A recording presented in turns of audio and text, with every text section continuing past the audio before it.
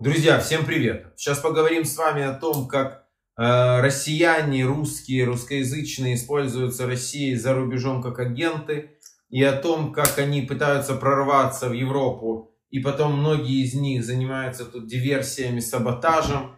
Сейчас э, расскажу, покажу вам это, и как пример Филипп Киркоров. Да, немножко и про Бедросовича, заодно и про Бедроса тоже. В общем, будет интересно, с вас лайк, шер, комментарий, подписка, колокольчик. Э, нажимайте, чтобы ничего не пропустить. И расскажите мне, пожалуйста, сегодня я задаю вам такой вопрос и хочу услышать в ваших комментариях ответ на него. Как вы считаете, э, можно ли разрешать э, россиянам выезжать в Европу и жить там? Интересно услышать ваше мнение. Ну и, друзья, не забудьте про сбор для двух крутых подразделений украинских на Мавике, которые мы с вами проводим. Присоединяйтесь. Итак, э, тут такие новости подоспели. В Германии были задержаны два гражданина Германии, но российского происхождения, в общем, русских, которые оказались шпионами и планировали диверсии. Не больше, не меньше, друзья, диверсии планировали в Германии. Э, задержаны двое, причем планировали они их и на железнодорожных путях сообщения, и на военных заводах даже на полигонах э, военных. В общем, такая серьезная история. Один из них еще и, оказывается, перед этим был в ДНР, вот это там воевал где-то. Как он в Германию попал, как его Германия приняла, непонятно.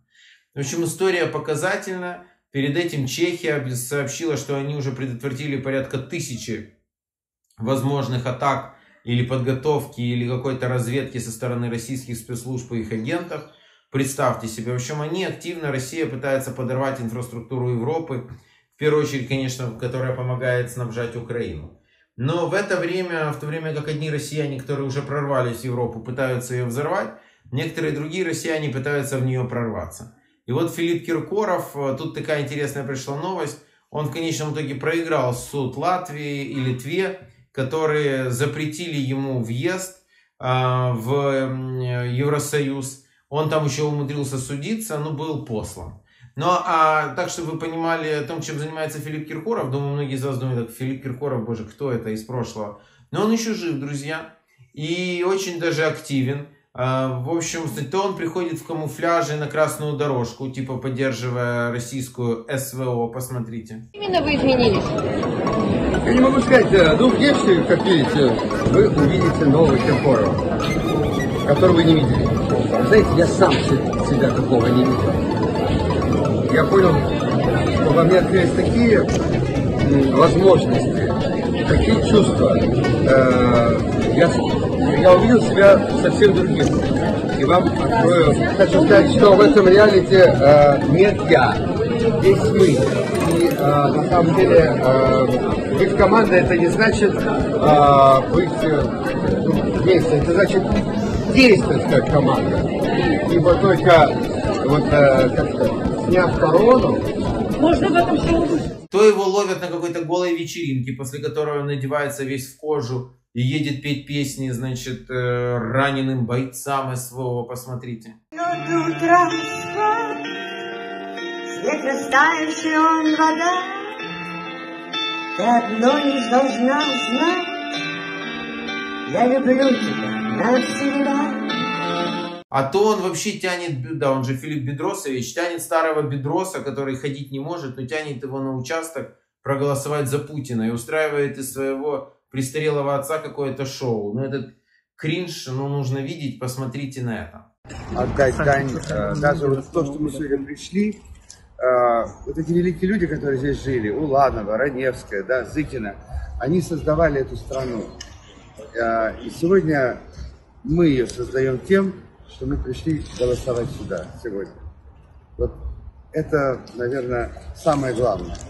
Я так благодарен папе, что он отозвался, причем э, Давайте, я даже отдохну. ни минуты не сомневался. Я говорю, папа, пойдешь голосовать? Конечно, пойду. Конечно, пойду. Я же Киркоров, старший. Я же должен подать пример младшему. Я говорю, ну что ж, папа, пойдем, дорогой. Это, конечно, сегодня очень волнительный и ответственный день. Вы большие молодцы, удачи вам. Мы очень, спасибо. очень, очень стараемся. Спасибо, спасибо. Очень стараемся. Давай, давай, иди вперед, иди вперед. Ну вот такие вот звезды российские, но при этом э, так любит Путина, в камуфляже ходит, но почему-то хочет в Европу. Ну загадочная душа российская, хочется в Европу. Может Бедросович хочет взрывать, э, пускать под откос поезда э, и чувствует себя немножко ковпаком, знаете, и вот к этому и готовится. Ну, в общем, вот такая история. Пишите, что вы думаете. Я вот только сегодня случайно встретил на улице Страсбурга человека, который русскоязычного, и который мне рассказывал о том, как э, он работает охранником в магазине и говорит, как приходят россияне, которые здесь живут уже десятилетия, говорит, и они за Путина. И начинают вдруг рассказывать о Путине, вот тут эти вокруг негодяи. Говорит, ну ничего, но это какие-то безумные люди. И это действительно, к сожалению, а, для многих правда. Такая история, правда, Кирюша? Да.